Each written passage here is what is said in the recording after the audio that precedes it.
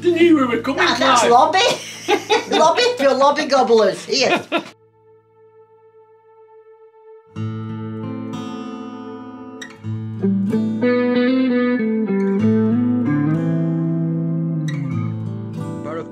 Situated in the Alston coalfield up in the North Pennines. And though Alston's in Cumbria, the, the pit itself is actually over the border in Northumberland. And it's situated above the banks of the South Tyne here. And if we're driving down the Alston to Brampton Road, which is here, you can look across and see Barhaugh Colliery, the remains of it. The, the barn is still there. That's Barhaugh Hall, and this is Barhaugh Park. And last the last video, we went and looked at the old Barhaugh Colliery up in uh, Blackclough up here, right the way up towards Horseman's Ford up there, and uh, the old coal pit into the um, Coal Clough coal up there. We've zoomed in a little bit more. There's there's Barhaugh. There's a pit. There's a little pit road. That's the Scarberry drift, Dryden's old original drift, and the one that's on the 1840, uh, 1865 map. And there we've got Barhaugh So let's go and have a good look round. We're going to start with a continuation of the history of Barhaugh Colliery again now. We did part one last year, the Dryden project. So this is going to take us from the 1950s up until the year 2000. Uh, and this is the edge of the Barhaugh estate. This is where Dryden's estate started. It goes a lot further back than uh, Dryden though. So this is Barhaugh Park. We're on the South Tyne in Northumberland.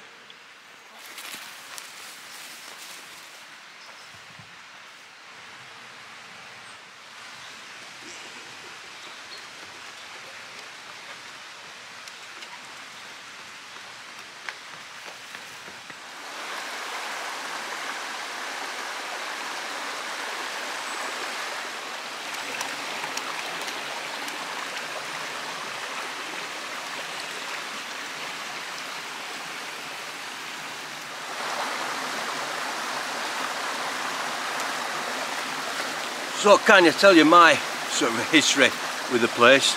Um, back in 1989, me and my then wife came up on holiday to Melmerby and we stayed in a cottage there. And I got to know a lad in Penrith, Stewie, who told me that there were coal pits up at Alston still working. And at the time I was working at Grime Bridge. So I came over to have a look.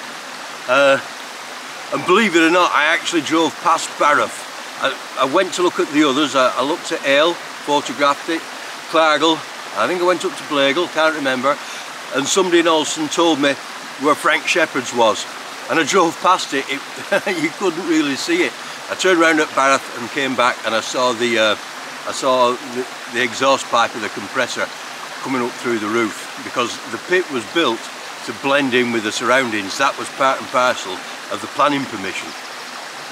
Now, I kind of found myself uh, out of work a couple of years later. Uh, I'd been in a printers after the Grime Bridge closed and then ended up at another pit over there. Um, and I kind of thought, well, I want to get back into mining again. And I remembered meeting Frank when we'd been up here on holiday. So I rung him up to see if I could, uh, if there any chance of a start. And he told me to come and have a, have a day. That your best interview? See if you can actually manage. So. I came up on a Saturday morning and my wife went looking for us for somewhere to live. But sadly, there, there was no job at the end of it, uh, which was a bit of a, a downer really. Uh, he set his, I think either his son-in-law or his son on again. Never mind. We put our house up for sale. We lived in a, a park home at the time. And we thought, well, the first thing is to sell the house and I'll go back up there and see if I can get a job. Because there was lots of other pits, it wasn't just Frank's. There was at least another five collieries at the time. So that's what we did. And it took six months, believe it or not, to sell the to sell the, the mobile home. And we sold it on the Thursday. And on the Saturday, we came up to try and find a house. And we we found what the house that we moved into, the cottage in Knaresdale, on the Saturday. And I planned on the Monday to come up and try and find a job. And I have to admit, I thought, well, I'll, I'll try Blenkinsop because that looked more modern, really, to be honest, and I'd already been to Frank's, hadn't I? So I went to Blenkinsop, but there was nothing going at the time, and he, he sort of said, well, he wanted to employ local men. Anyway, I didn't get on there, so I then went round Alston.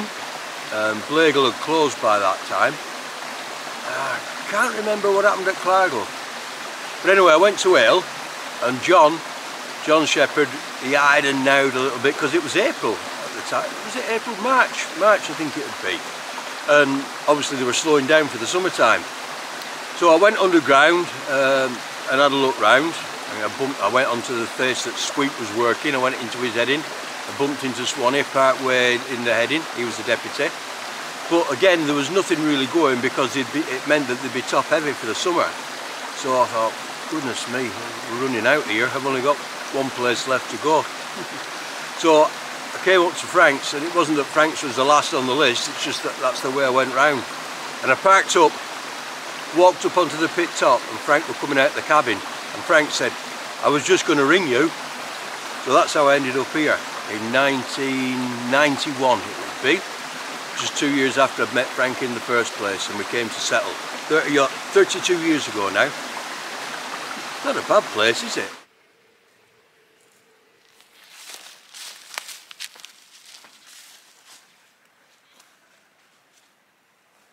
Now, rightly or wrongly, I'm taking this to be the remains of one of the towers for the aerial flight. Remember from the last video, the aerial flight that came from Blackclough and brought the, uh, the skips down to the railway, to the Alston branch down at Slaggyford. And it came right across Barhaugh Park.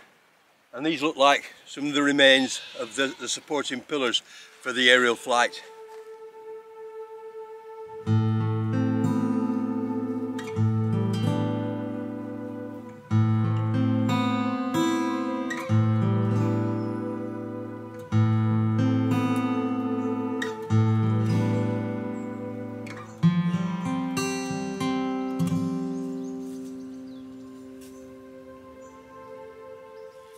Barhaugh Hall, that's where Dryden lived uh, and it goes back like I said a lot before that. We've got particulars of the estate being up for sale in 1850 where it mentioned obviously the coal pit right up near Horseman's Ford but when I moved up the hall then, well it was run by Ron and Carol Brack and they were running it as um, like a conference centre where you went to have business conferences or run these different courses and that's what they were running it as.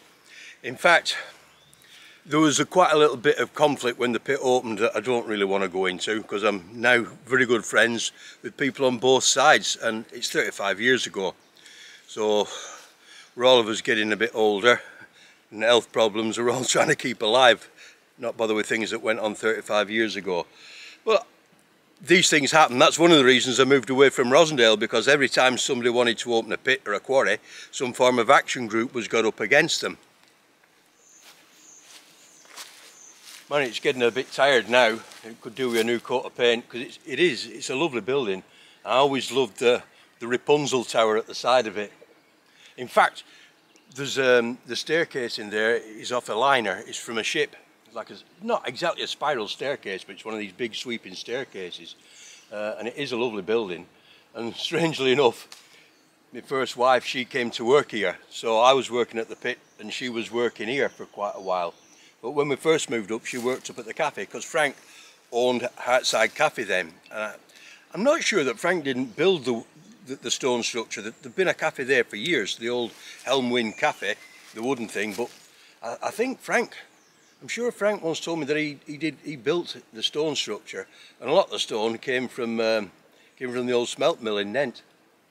But Barhaugh Park Barhaugh itself, all around Slaggyford, this area, it's a beautiful place. It really is peaceful.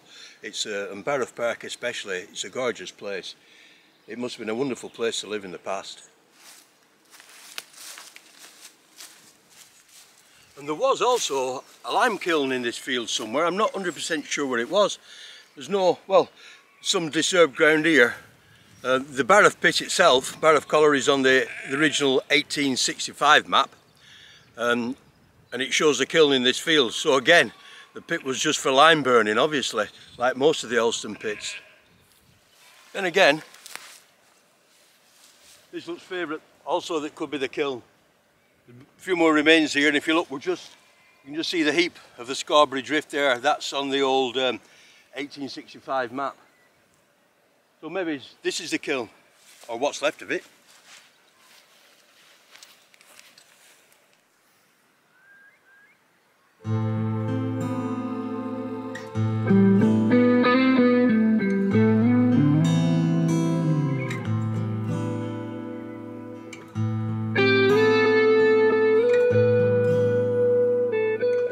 So this is the original drift that's on the 1865 map that became known as the Scarberry Drift when Dryden reopened it again around about 1907. And go back and have a look at that video and refresh yourselves if you, if you want, otherwise I'll give you a bit of a background. The coal has been worked here time immemorial, my favourite saying. And if you look all along the road going up to Slaggyford and then up to Knaresdale, you'll see, see where they've been in the hillside nibbling in, just usually for the lime burning and they went in during the 26th strike as well I'm told. But this was certainly working properly around about 1907 1905 1907 right up till about 1911 when Dryden was running it. Now the, the, the old colliery came to an end in the 1930s uh, and it seems to have stood idle then for 20 years at least and it was the Currahs who came next. Now I'm sorry I'm a bit sketchy with um, some of the history here with the Currahs um, it's Norman's dad. Um, sadly, he's passed now, and his mum died last year as well. And Norman was going to try and see if he could find any photographs. And if you're watching Norman, go and have a route. so they came back up. There wasn't just the Currahs, there was other people involved as well. Uh, oh, Neville Richardson was also here. But they came either the late 50s or early 60s. They finished in 1968 anyway, so it possibly was the 1950s. And again, it was for lime burning because the, they had lime works, the, the lime works at North London, that was to do with the place as well. Um, the Currahs and the Robsons were intermarried. Uh, I mentioned Tashi Bill when we did the video on the uh, on the kilns as well. So it's the same family. And they had owned Flow Edge, or Flow Edge as it's written, but it's pronounced Flow up here. And the Currahs had had Flow Edge, I forget the date offhand, but they'd been there quite a long time as well. Um, then it, that had passed into Harrison's Lime Works. And I think they'd run into financial difficulties up at Flow Edge. Again, a lot of the coal was going to feed the lime works. It went to Croglin for one, and then when Harrison's had it, a lot went to Flusco uh, Lime Works in Penrith, which is now Penrith Tip. But the Currahs appear to have had the best out of Barhaugh. When you look at the plans, um, they worked the best patch of it. It's, it's straight, it's all organised. Uh, they didn't seem to hit too many faults and it looks like from what I can see that they had they had a good go of it. And I know one of them told Frank that they'd had the best out of it and when they came back they brought an awful lot of coal out with them. Uh, was going to make it difficult for anybody coming back in. And they ran it until 1968 well it's 1968 on the abandonment plan. And I'll put the plan up um, and you can you can have a look at the area that they worked bearing in mind Frank's played about with this plan, plotting where he was going to go around about 1987. And it's coincidental, I suppose, that the Currahs also had Flow Edge because Frank had also owned Flow Edge. He'd been in with, uh, first it was Frank and uh, I think it was Yeti's dad, uh, Mr. Bell, and then it was Frank on his own. And I think Frank was only young, he might only have been 19 or so when he, he started up at Flow Edge, running it himself. I could be wrong with that. Uh, and Frank had been there for a good many years, from certainly the early 1970s to the late 1980s. 86, 87, he will tell me, uh, when he'd sold it, I think he sold it to the Turners. And Frank was operating part of Flow Edge while they were working the main way. And then Tow's Bank opened, which is the last sort of semi-anthracite mine, or anthracite mine really, along the South Tyne before the big fault and the, and the true coals come in and Frank went in there with partnership with uh, Ted Nankara and Sid Arms, not Sid Armstrong, Sid's lad. His name will come to me. Willie Armstrong, sorry Willie. he went in there with Willie Armstrong and Ted Nankara. And Frank was, like he did up at Flow Edge, Frank was operating one drift while the others were working in the other, if you will. And I think Frank was working in the original drift that was on the, the old maps. Anyway, while he was doing that, he, he was getting planning permission to come here in the early, in the late 1980s. Uh, I think he started about 1988 here.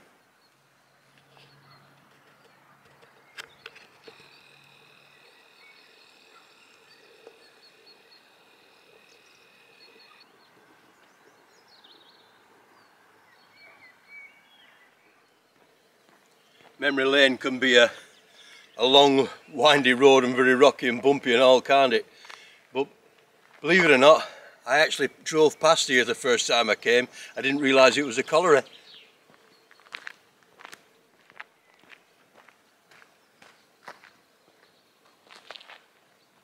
It was a stipulation of the planning permission you see. That's what the bugbear was with a lot of pits when they were going to be reopened. Um, lots of action groups thinking it was going to be an eyesore. And to be honest, one of the pits not far from here was, well, it looks like it would have done if I'd have run it. uh, but never mind. But to get the pit, to get planning permission, Frank had to build this building here to um, to hide the plants, really.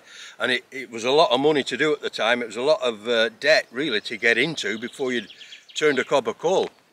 But they built it, we've got some photographs of them building it as well. And inside, at the top obviously it's full of soil now but at the top was the pit top plant. There was the, the hauler the tipplers the screens and underneath here was where the wagons went in and the coal bunkers were there. That's where they'd drive in.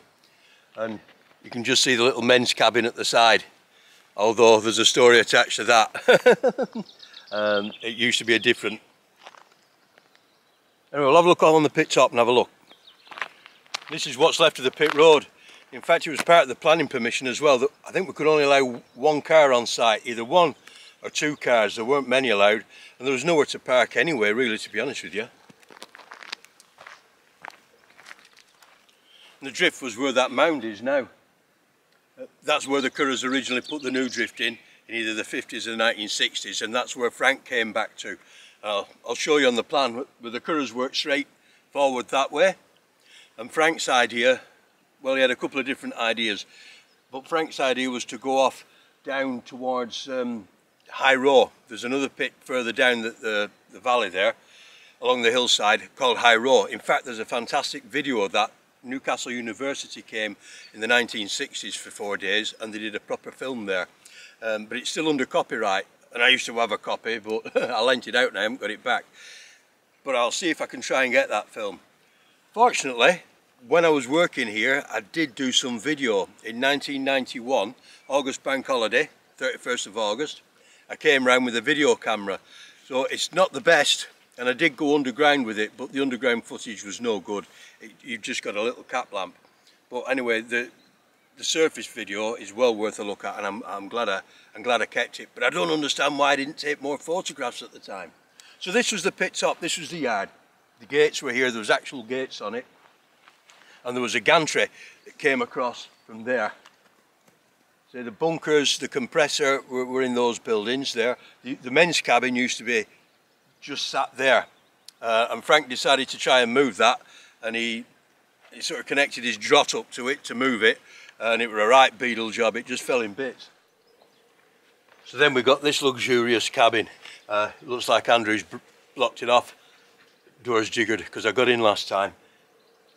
This was the height of luxury that we had in the private mines. And today we're going through the uh, broken window. It was quite posh at one time. You'd had tables in it for us to sit and have our bait, which we never did.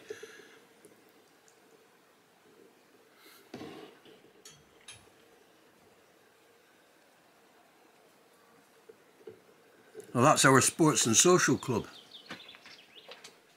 And this is where most of the pit top infrastructure was. I'm standing kind of on the, well, we would have been stood on the railway line, the, the tramway lines going in the pit, although it was a lot deeper down. It's all been backfilled this.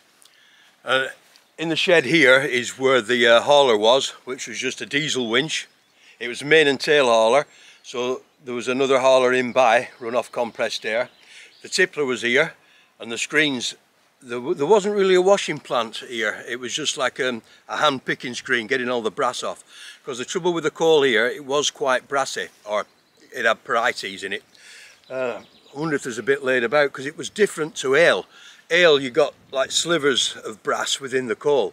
But here you got like eggs, they could be from that size right up to the size of your fist and they just take the point off the end of your pick blade like, you know what I mean? They were murder. And obviously they went in the coal. And the only other problem that there was, the idea of working the Alston pits was to open up as much ground as possible. They were worked by single entry short wall faces. That's the official name. So you'd have a, I'll, I'll draw a diagram for you uh, later on, but you'd have a barrowway which was about that wide. The word barrowway is a northeastern term because in the old days they actually had a wheelbarrow. And either side of the barrowway you go in at coal height, five yard either side. So the barrowway was high enough well I say high enough to walk, none of mine ever were. the idea that's where you took your tubs in and out, you had your rails, but the ducket as they called it, the coal face, called a ducket up here, a back aisle back in uh, Bridge, you would take at coal height. And the coal here, it varied, it, it was nowhere near as thick as it was uh, at Ayle and Clargill. Here it averaged about 15 to 18 inch. It got a lot lower. I worked in a place, I'll show you a photograph later that Alan Davis took, where it was only a foot high. I've got a foot ruler in. So the coal here was different to what it was uh, down at Al further at Alston at Ayle. The, the saving grace of this place was that it really was dry. But the idea was to open up as much ground as possible. As you drove ahead in, you would turn boards off at 10 metre intervals because it was a metric pit. And then each board as you would go over five yard each side as I've said and they would haul into each other. So the idea was that you ended up really in effect with a, a long wall face as all the boards advanced together. And you get a lot of weight on and that would make the coal a lot easier to work. It would bowk off. But it never really seemed to happen here. So Frank didn't have the best run of things. There was lots of faults. So Currah's drift went straight in by for quite a long long way. But Frank's drift it veered off to the left here to this side went this way. And Frank was skirting round their old workings and he, he put a, a return drift in to the side of these trees. These trees were just saplings. I never thought they'd ever make anything of, of themselves. Uh, they were struggling to survive. Look at them now. Anyway Frank went down there towards the old high roll workings where there was a fault and his idea was always to get through that fault. I think it was about 20 or 30 foot up throw fault um, and take take the coal between Barhaugh and High Row and in fact he had a he had an MCO in, an Eimco, however you want to pronounce it, and his first main drift was really was high and square. It had been driven with this MCO kind of thing. But it didn't work out. He did get through the fault at one time, but it didn't work out. So instead, he went straight forward where the Currahs had been, and then again went off down towards the left with another drift, which ran parallel to this. Oh, it was good, he got an air circuit. And then he tried to get up where the Currahs had left off, but the inspector didn't want him going up there because at the time it was all this radon gas business. They were going mad about radon gas. We'd never heard of it before. Well, I hadn't.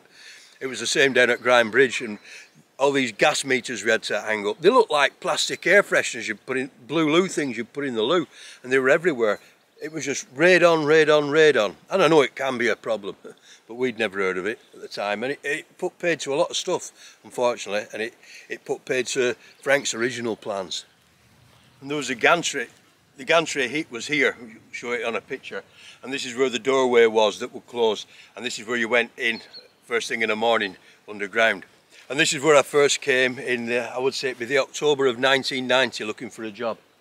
One Saturday morning. Uh, my wife had gone off to try and find us somewhere to live uh, and I'd come here for an half day and we were working with Kieran Thompson and his brother Chava Thompson. And I'd never heard the, the nickname Chava, common up here innit, I just kept calling him Charlie all day. And they were working driving the main way but they got a long wall face on up the side, well a short long wall face, they were about 10 metres in uh, and they got a, a what they call a box, like a slusher box. So you would fill the, you would hew the coal and throw it back and the slusher box would bring it out to the barrow barrowway so it was usually, they were working it with three men, I think. There was Kieran and Chava and Terry, Terry Page, which was then Frank's, uh, Frank's son-in-law, would be operating the box. Uh, compressed air, you know, it would run on, uh, on rope, it wouldn't even be wire rope. It could have been wire rope, I can't remember the one we had now. Um, but it was operated by baler twine. So you had two bits of, bits of baler twine right up the coal face. Pull one way, for the box to go out and pull it the other way to reverse the motor and get the box to come in the other way. They're all high tech. Although Frank did make a coal cutter for here as well. We've got a photograph of that. Well, I did manage to find a piece of brass. There you are. That's what the brass looks like. You can see like an egg, well not egg shape, but you get the idea.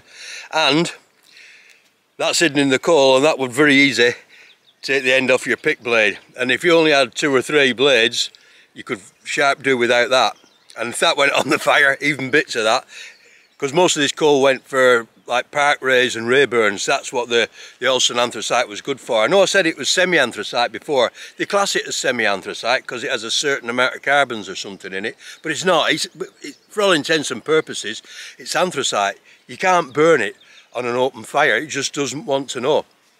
So it is a fantastic coal. It really is a fantastic coal. It smells a little bit of sulphur when you open the fire grate, you know, when you were taking the box out, but it's mad hot. I mean, we lived on it. As soon as we bought that little cottage in uh, we uh, we turned it all into solid fuel central heating. And I tell you what, we were never cold in that house. It was fantastic coal.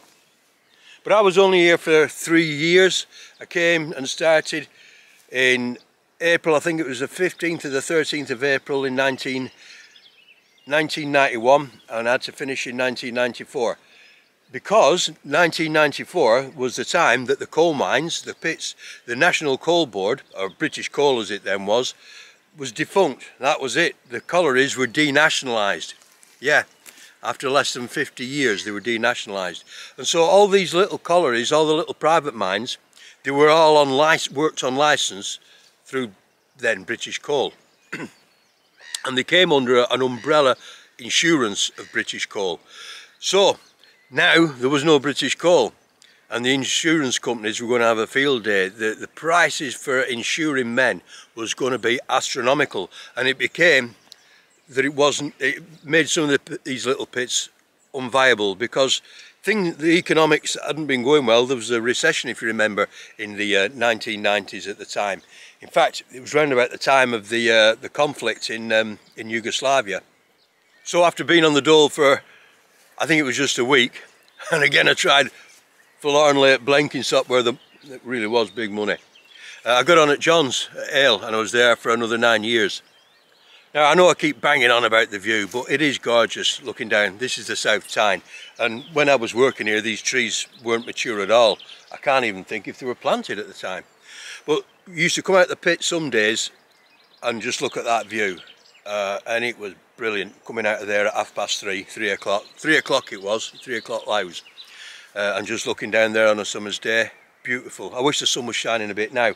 And they used to do all the used to get a lot of low-flying aircraft with the RAF training up here. You get a lot of the Hercs coming down and also the fighters that were practicing coming up and down the South Tyne. And uh, on more than one occasion I was looking down at the pilot from up here. That's what it used to be like. Well Barhaugh is really historically important for, for one good reason and it's never mentioned, it's not in any of the history books and nobody goes on about it but I think it really is important and I think it's a historic landmark that people have missed.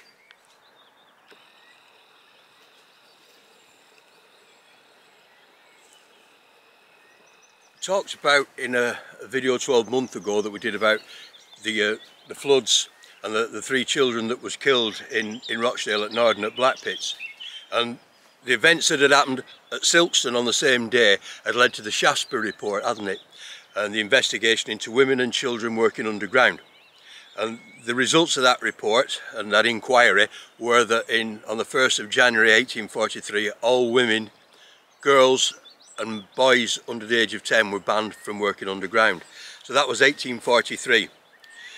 Now while I was here, like I said, the, the, the nationalisation was undone, they, they got denationalised, but also that law about women working underground was also reversed.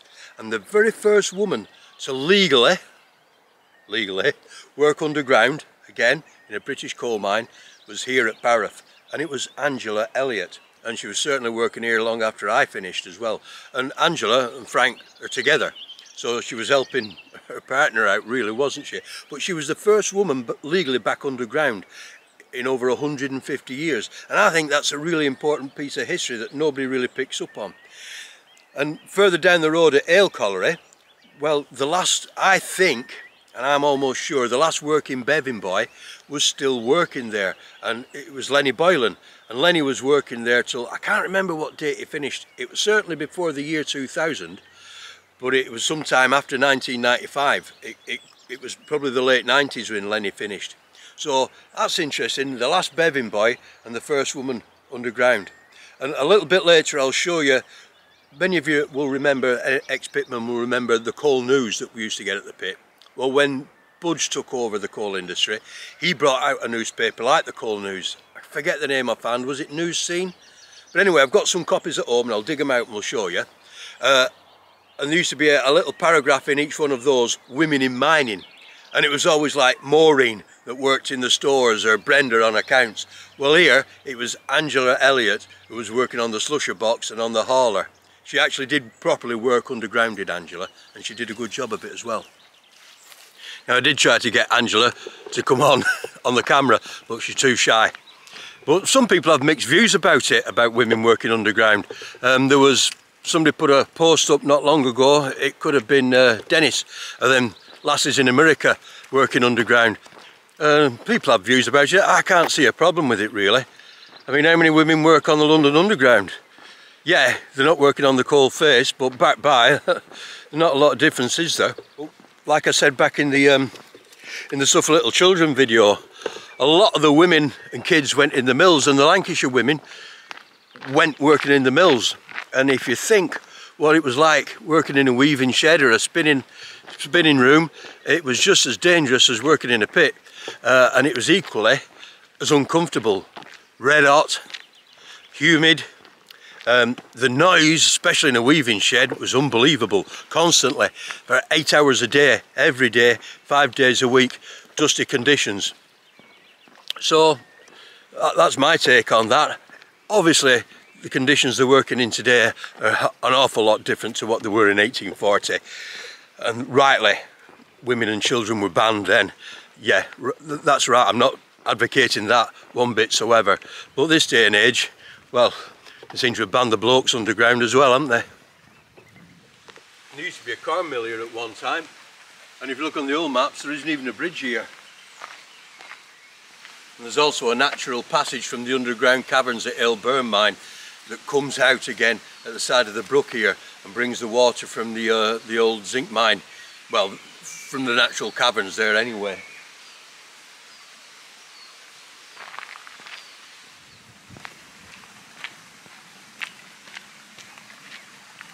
So I said I'd explain how they mine the coal, or I used to mine the coal, we all mined the coal up on Alston Moor, the little limestone seam. Now, I'm sorry about this geology lesson. It's going to be a bit like coming back home from the pub in the 80s after five or six pints and putting on the Open University. But here we've got an end elevation of a working board. There's your solid coal, that's the roof, and there's the floor, and these are the rails. Now, as you notice, the coal's up on the roof uh, and usually the roof is taken down, ripped down to enlarge the roadways. But on Alston Moor, it's different. They take the floor up to enlarge the roadways. They used to take the roof down, uh, but it is far better for roof control to take the bottom up. Um, so this, where the coal is left on, is called a canch. So the method is known as bottom canch. If you were taking the top down, it would be top canch, and that would then be the canch up there. So there's the rails, there's a solid coal, that's where the hewer will be working. See, he's a good lad, he's got his timbers up, and this is a stone pack. So all the stone that has been taken down from here or blown up from there has been packed on the side and a stone wall built. That is to support the road as it advances and the weight comes on. Now, usually coal has a grain, it has a cleat. Uh, it's like going to B&Q and getting yourself a, a plain bit of 3B2 and you see that one side has a grain, turn it on its edge uh, and the grain is different. It's, the, it's what's known as the end and it's very hard to work on the end. Well, coal is usually the same.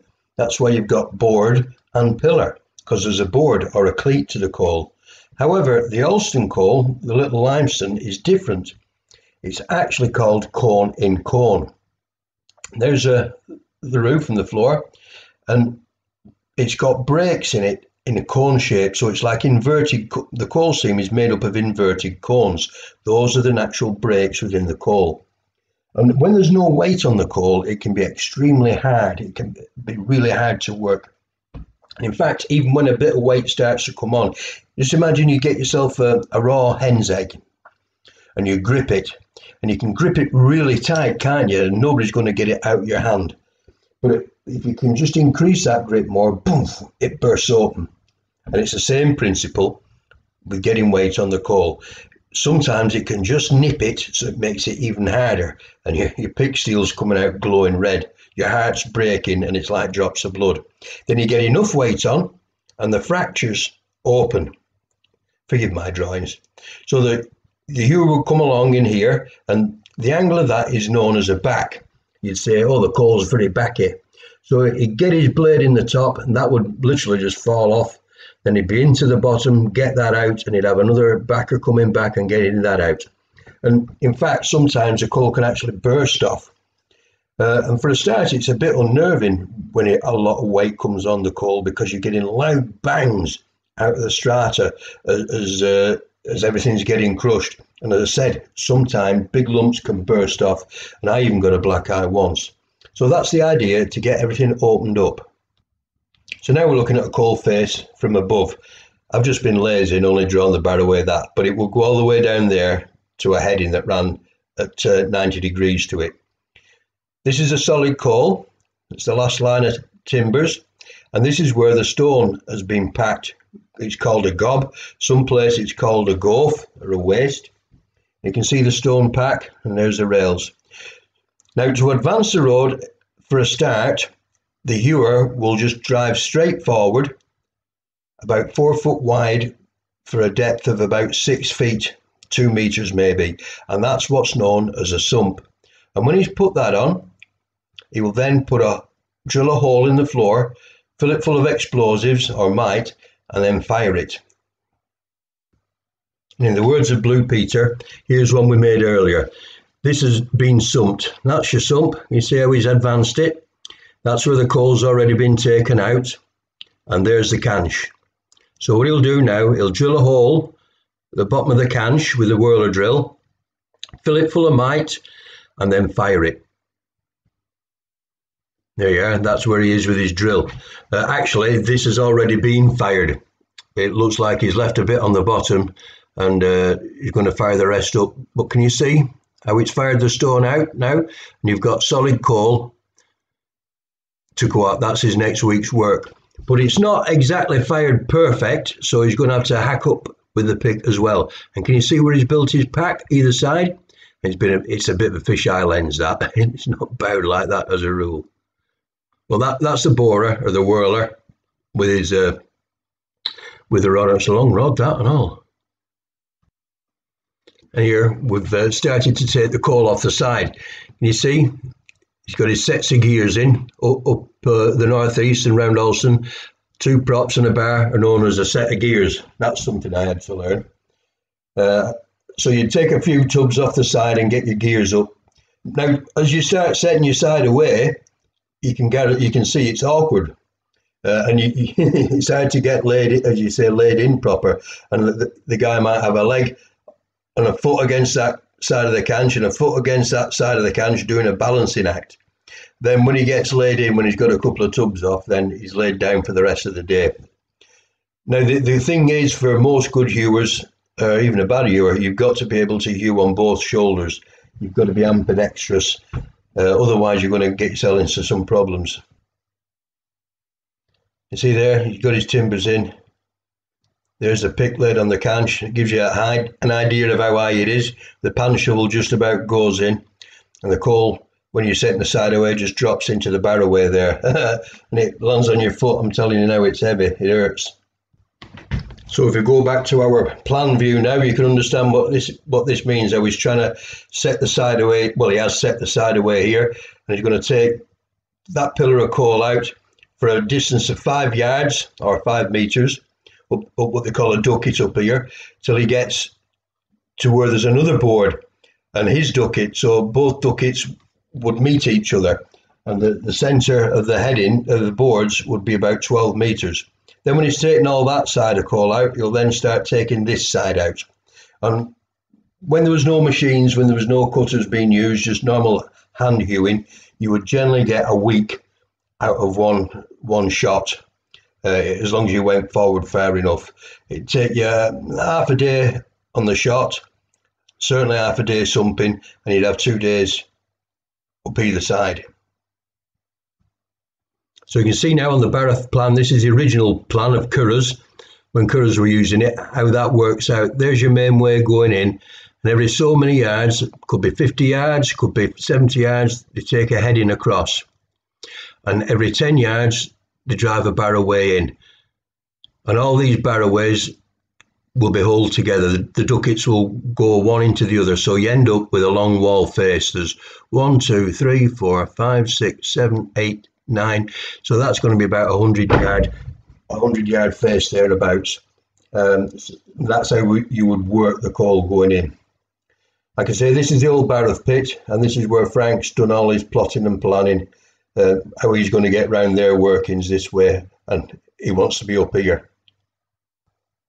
And this is a plan of Barhaugh in uh, 1991. I'd only been there a few months, and this is where Frank has come in. There's Currah's drift going that way. And see, Frank came down towards this side, going down towards High Row. And these are his workings here, as he's trying to get through and get past their workings. Although here there's a fault comes in, and this is where Frank we're going to try and get up into this patch of coal that's left between Barhaugh and uh, High Row. And when I first started, that was what I started. My first day was up this ducket here, Robin. Hmm um, which wasn't my favourite job. I was a long way over. And I think the, the morning I managed to get two tubs and came out of bed, and Frank must have thought he'd set the biggest wazzock on there was in the Alston coalfield. But anyway, I went back in after bait and I started sumping and I got five out the sump. So that was pretty respectable. And then that was my first heading going up there, taking the airway. So I hope that explains a little bit how uh, we mind the coal on Alston Moor. So let's have a trip down memory lane and look at some of the photographs we've got of the pit. And this is this takes us right back to before Frank started, just as operations were going. So this is how the Currahs left it. There's the, the, the drift would be up there. Um, this is before the building was built, obviously, in prelude to putting the footings down. And everything's kind of in full swing here getting on with the building. You can see the work that went into it um, and what it entailed. It was like building a house. It, it, it, wasn't cheap. Like I said, putting the, the pit in quite a lot of considerable debt before they'd even started. I first ventured up there in the July, August of 1989, and this is the site that I found.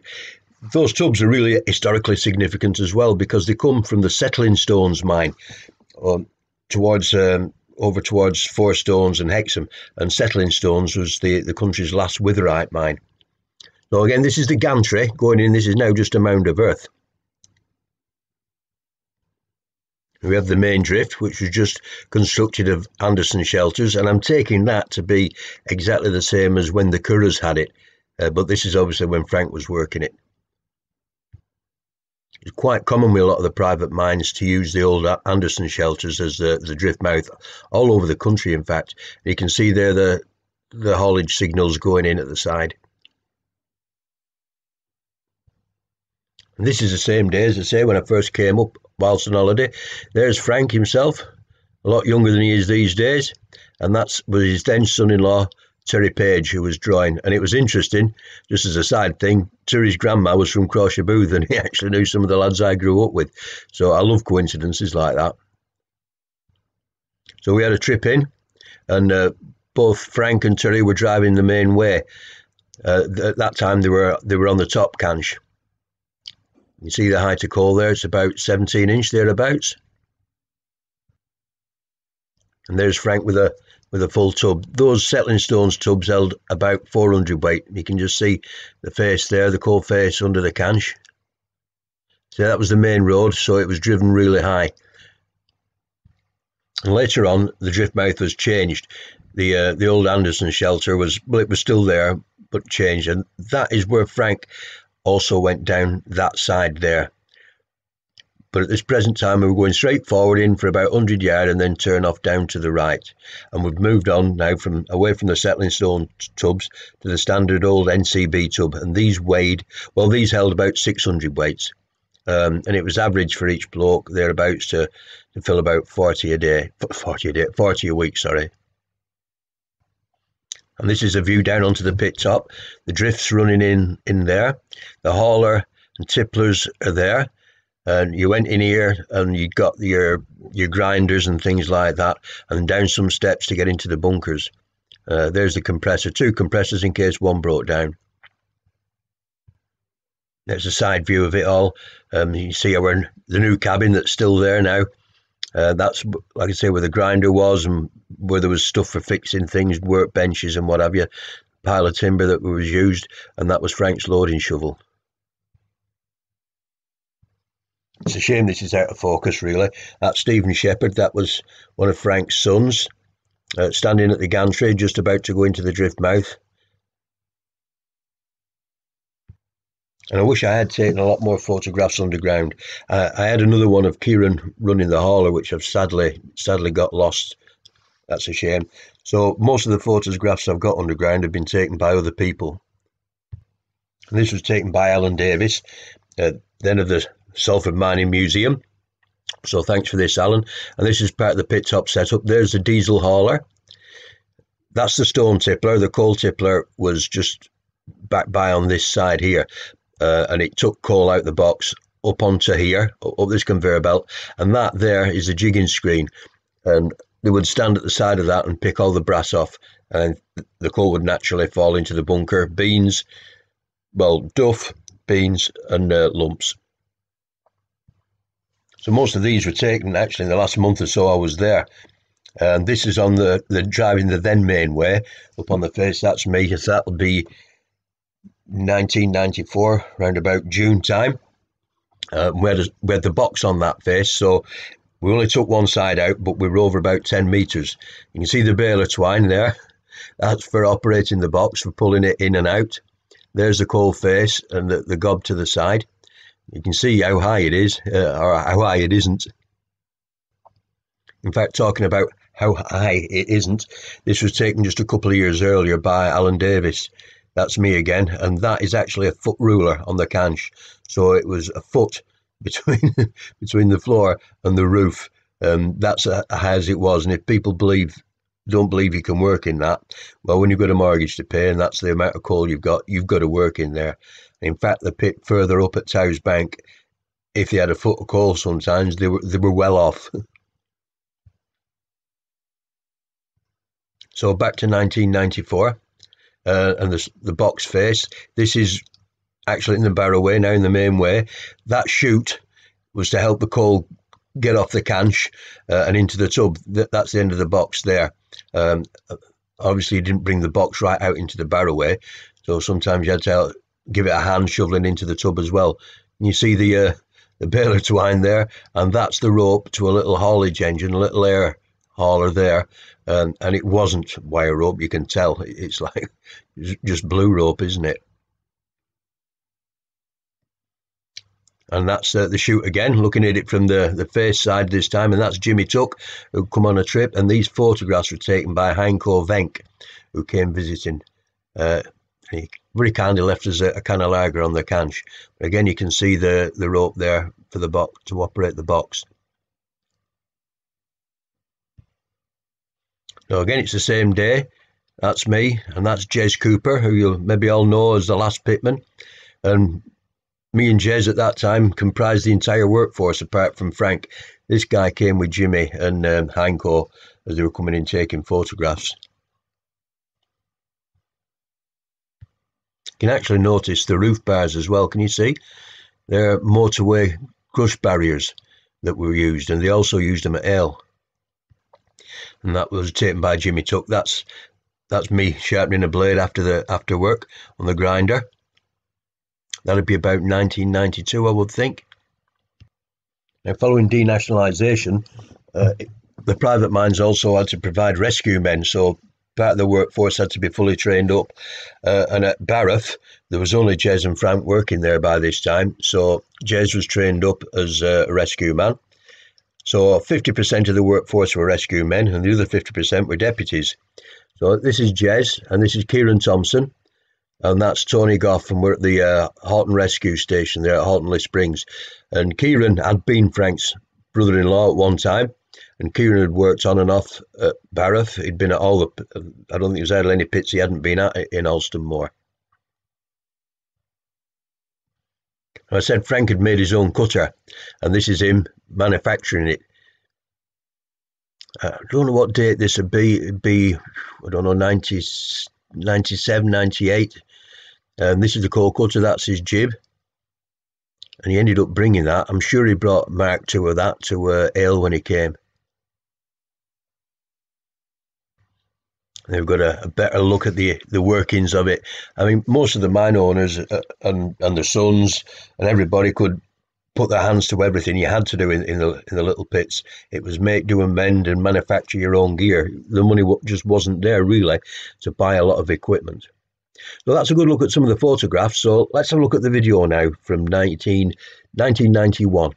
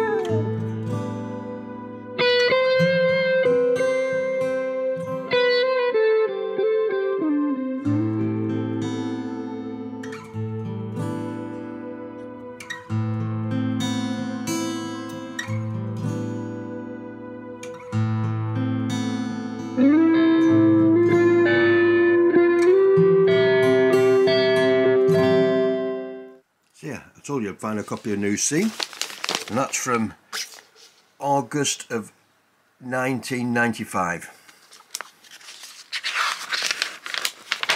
there we are first page as I said women in mining. So I've talked about a slusher box or a, a, scraper box and this is what one actually looks like. This is one that was used at Ayle the one at uh, wasn't quite as big as this now, sadly, Barhaugh Colliery came to an end in the summer of 2000, the year 2000. And at the time, there were only really Frank and Jez working there. The coal had really thinned out. Um, it was a bad time in the coal trade. and there was no profits to be made anymore. Uh, and there was changes coming as well further changes coming. So Frank sadly decided to call it a day, uh, and he ended up coming to Ayle Colliery for quite a while, as did Jez. Jez used to come during the summertime as well at Ayle and became a partner later on. So thanks for watching. Um, and it's only a small little North Pennine pit, but it was locally an important mine. And the people involved in it were big people within the local coal industry. They've been involved all their lives. So I hope you've enjoyed this view into a private mine in the North Pennines, and we'll see you next time. Thank you.